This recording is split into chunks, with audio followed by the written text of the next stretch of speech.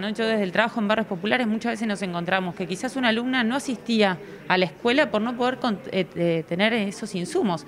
Entonces, que los establecimientos escolares, que los centros de salud puedan eh, disponer de estos insumos para que eso no interrumpa la vida cotidiana de, una persona es excelente y no nos podemos olvidar que ser mujer acentúa mucho más un montón de dificultades. No es lo mismo estar en situación de calle siendo hombre que mujer porque todos los meses te viene, porque es un gasto extra, no es lo mismo ser mujer, estar en situación de calle y pasar un embarazo, un parto, amamantar. Entonces empezar a dar estas leyes y a pensar en estas leyes y sancionarlas, que nos propongan un poco más de igualdad, eh, son necesarias y que quizás hasta ahora no, se habían pensado.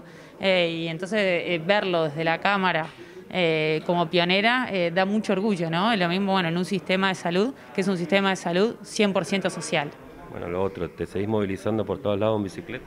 Sigo movilizándome en bicicleta, de hecho acabo de guardar el reconocimiento del Incucay porque tengo la bicicleta estacionada abajo, así que bueno, lo guardo en la mochila y ahí sigo viaje sobre dos ruedas. Bueno, empezó la etapa de la ciclovía, ya viste las primeras repercusiones, multas.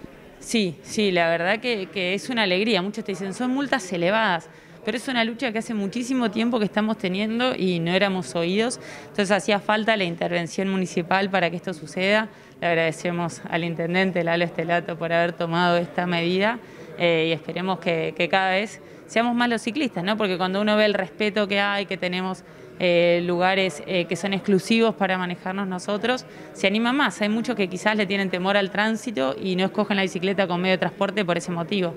Así que esto es un avance. Bueno, la última, ¿estás siguiendo el debate, el análisis del presupuesto?